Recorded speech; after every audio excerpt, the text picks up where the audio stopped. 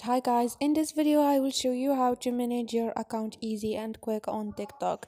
So first thing go to your tiktok here. So now you can click on those three lines and click on setting and privacy. Here you're gonna find account. Click on it. So here you can manage your account you have account information you have your password switch to a personal or a business account and you have download your data and you have deactivate or delete account. Here you can manage all those informations easy and quick on your tiktok. So now once you go back you're gonna find account privacy security analytic balance or share profile.